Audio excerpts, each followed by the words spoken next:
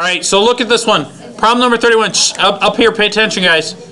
Problem number 31 says that a stone is thrown horizontally from the top of a tower. At the same instant, the ball is dropped vertically. Which object is traveling faster when it hits the ground? Now, does it say, does it say faster in the y direction, x direction, or just faster?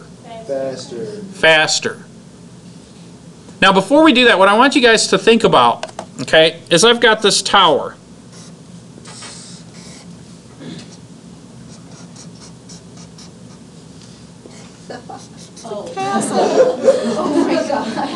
Right? And I've got this guy up here, and he throws the stone. It has a velocity in the x direction. And at the moment that the stone is thrown, what is the velocity in the y direction? Zero. Now, if you take, and there's another guy standing right behind him, and he takes a ball and he drops it, the x direction will always equal zero because he didn't throw it in a horizontal position. But also, the velocity in the y direction is also going to equal zero. So that's right at the beginning when they both release them. Now, what acts on both the ball and the stone? Gravity. So both of them will have a constant acceleration in the negative direction of negative 9.8 meters per second squared. So think in just terms of the y direction. Well, about midway through,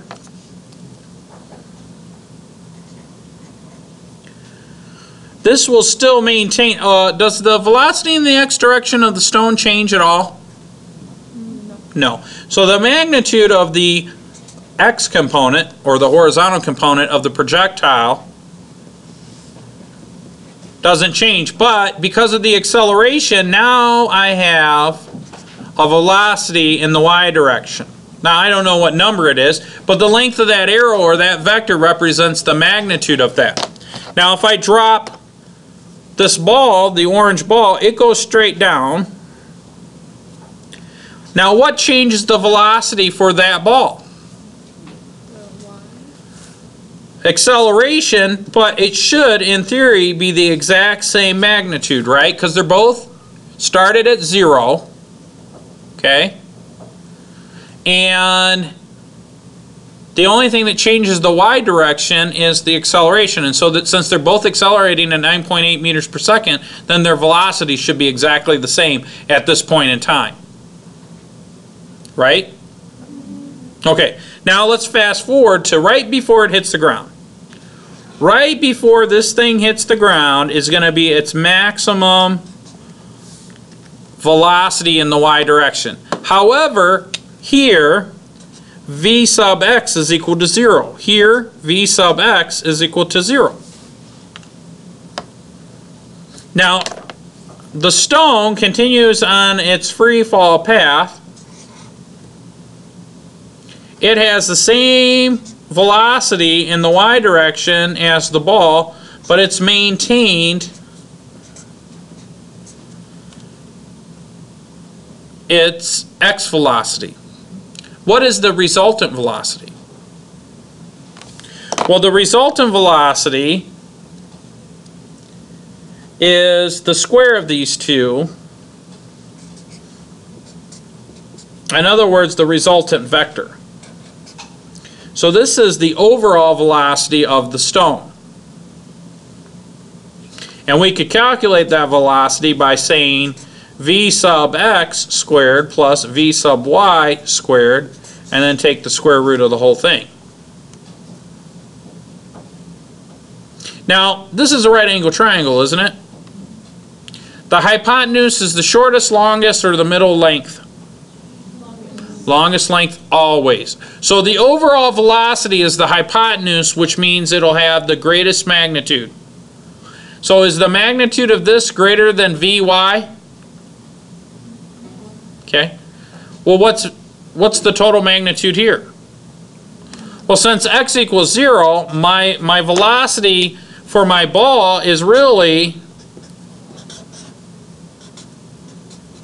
right? Because my v sub x is just zero. So I would write down v sub x, but since it's zero, it goes away, and I'm really left with the square root of y squared. So when we talk about how we answer this question, we have to really look at the, the, the, the, the overall, well, we gotta really look at the wording of the question. They have the same velocity in the y direction, right? Because the order, the magnitude of their y components are exactly the same. But since I'm getting rid of the v sub x, we know that this one's a little bit bigger, right? By the way, what is the square root of vy squared? Why? Vy. So my velocity of this, the total velocity is Vy, and that makes sense, right, pr- from a practical perspective, because it's not moving in the x direction. But this one is Vy squared plus whatever we have in the x direction, so this would be more. So the overall velocity V would be greater for the stone, right? So this would be greater for the stone. So if we go back and we look at that question, problem number 31, it says a stone is thrown horizontally from the top of the tower. At the same instant, a ball is dropped vertically. Which object is traveling faster when it hits the ground? Well, what are they talking about? The x, the y components, or the total vector? The total velocity vector. And we just saw that that was A. Does that make sense? You're welcome.